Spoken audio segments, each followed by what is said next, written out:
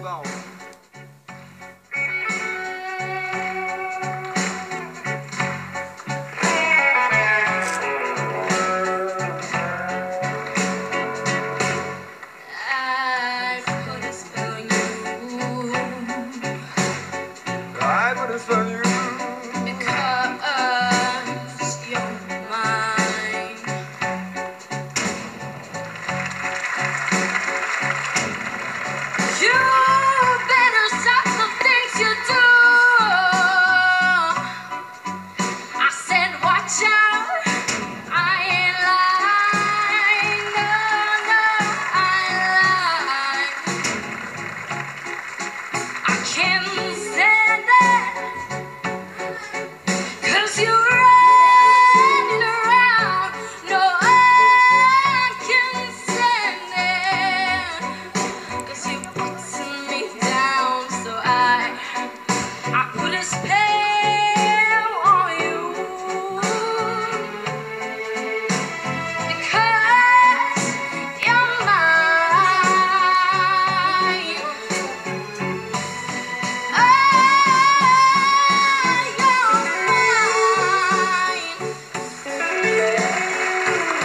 Jaj, za vreme Valentina dolazi.